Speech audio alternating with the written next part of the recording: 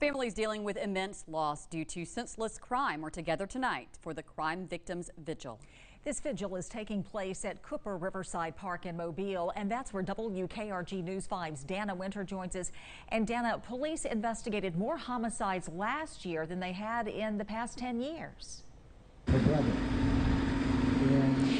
Did, Roseanne. And those 51 people who were killed last year are being remembered here tonight, along with victims from years past. Several families out here tonight. We're joined by Judy Ware, who works in victim services for the Mobile District Attorney's Office. Judy, thank you so much for being with us.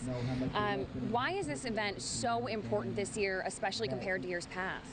Um, it, it, gives the, the, families opportunities to come together to speak um, on all different levels of the criminal justice system. Um, some that are just beginning this process, like you said, with 51 murders in the city, and people that have been through this process and have um, been able to go through the criminal justice system.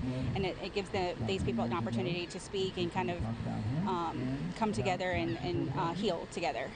Tonight we've heard from District Attorney Ashley Rich. We've heard from Public Safety Director Lawrence Battiste. What is the main message here tonight to the families of those victims? We want uh, the families to know that um, we are there for them, that um, the district attorney's office is fighting for um, your loved ones that you have lost, and um, we will never stop fighting. Judy, thank you so much for joining us. This event is still going on right now here at Cooper Riverside Park. As you can hear, there are speakers currently on the stage. We will bring you some more information from this event tonight on WKRG News 5 at 10. Reporting live in downtown Mobile, I'm Dana Winter for WKRG News 5.